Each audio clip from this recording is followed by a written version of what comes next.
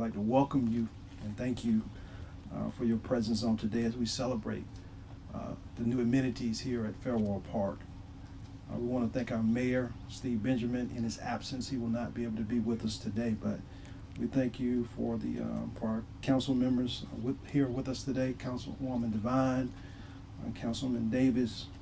Thank you all so much for being here and supporting this initiative. We also want to thank our city manager, Teresa Wilson, for her continued leadership, of course, and support uh, on all the parks and recreation initiatives.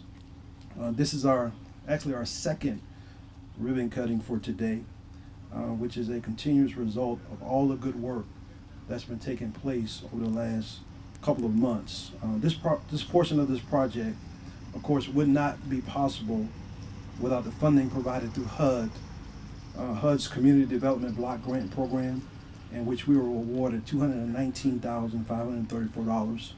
Uh, we also received an additional $50,000 uh, from Wells Fargo, uh, the actual neighborhood lift grant, to help complete this project, uh, which gives a total investment of almost $270,000, which is absolutely amazing and, and definitely appreciated. Um, the revitalized park features in um, with this new playground uh, features a walking path, outdoor gym stations, a shade shelter, of course, open green space, an established tree canopy, uh, additional site amenities like landscaping and the split rail fence that you now see around the perimeter of the actual park. Um, the playground features an assortment of play elements from climbing uh, to slides to bridges to swings, uh, play adventure for two to 12 year olds. We're, we're, excited about the opportunity that is, that is bringing to uh, this community. The actual outdoor gym begins along the, along the path with six different stations. Seating is provided along the path at, at select stations, and a shade shelter veers out in the open space for the community uh, to have uh, picnics and, and activities as, as they choose to.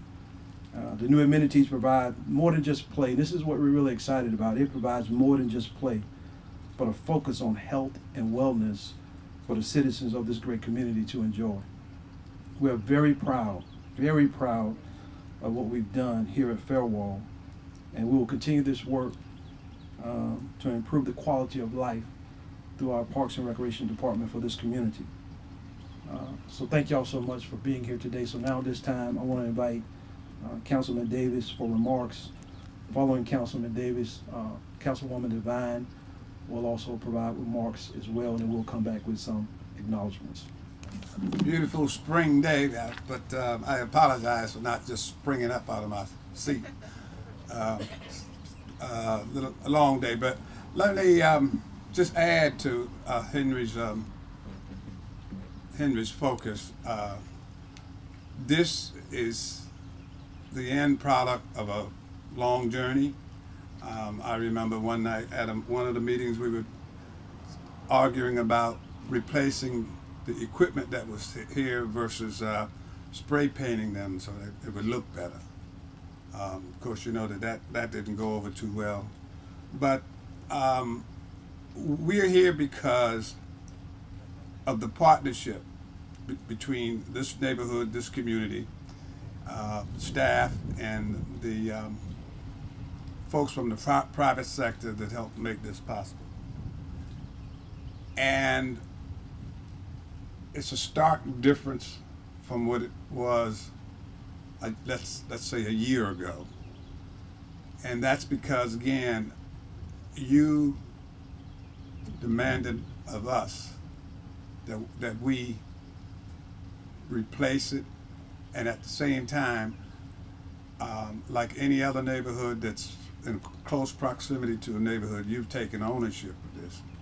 And that, that again is the partnership. We, we'll do what we need to do to help keep it safe and clean and, and uh, but the, the bottom line is it has to service the community. And um, that is a partnership that's uh, kind of rare in some other places. But uh, you have our commitment that, that we will continue to partner with you on this. Um, and I want to ask you too, though, to encourage the moms and the pops to use the facility. Um, if it's used by the people who live there most often, then uh, it lasts a long time. So um, it's a beautiful day. Enjoy that site because it's going to be here a while and the partnership is going to be here a while. Thank you. Good afternoon, everyone. Um, I'm not going to be long. I just wanted to say how um, special this day is. Um, you, as a neighborhood association, have continued to uh, push us um, and work with us to get things that are needed in this community. And as I'm sitting here, I'm thinking, um, you know, I grew up in this community, my grandparents' house um, right there on conveyor. And as a child, we would either jump the fence to go over to the school and play, um, or cross the street and go um, over there. But there was nowhere I could walk to have a city park um, that was something that had stuff for everybody. And what I tell people a lot is as we grow our city, as we continue to to promote inclusive growth in the city of Columbia, we are building a city um, that is called an 880 city a city that is uh, made for those that are age 8 and those for age, age 80 and everyone in between. And this park is a perfect example for that. So whether you are you're bringing your children or your grandchildren, they have something to do. Whether you are a, a senior, you have something to do.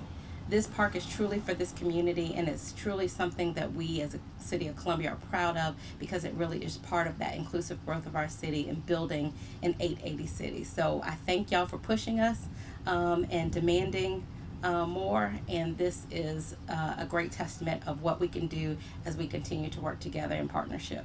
Thank you.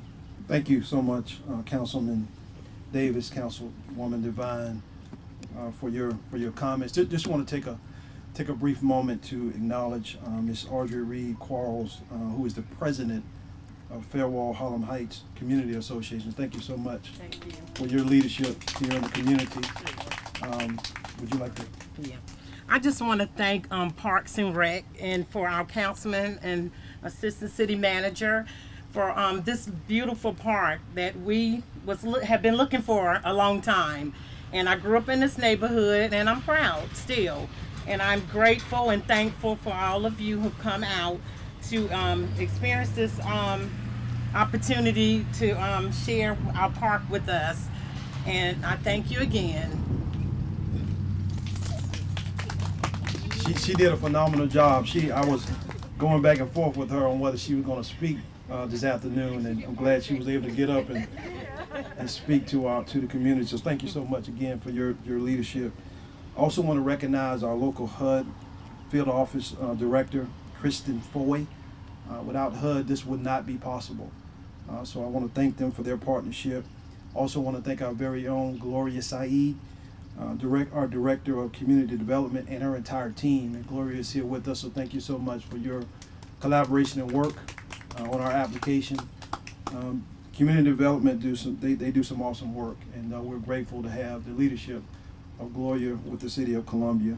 Also want to recognize, of course, our Parks and Recreation team, uh, led by Mr. Randy Davis, uh, our Director of Parks and Recreation, uh, Kenya Bryant, our Deputy Director, uh, Todd Martin, who's our uh, Project Manager, just all of our entire team who work together to make these things happen. Because you know, once it's in place, uh, we have to maintain it. and It has to be sustainable. So those are the people that help maintain and sustain what we have in place. So we're very grateful uh, for their work and their commitment to um, to this community and the communities across the city of Columbia. So we're very grateful for your presence on today. Um, what we're going to do now is we're going to transition to do the actual ribbon cutting. And after the actual ribbon cutting, we're going to have an opportunity for uh, some interviews as well. But thank you all so much uh, for joining us today. We really appreciate it. Uh, this is a beautiful day, as Councilman Davis has stated.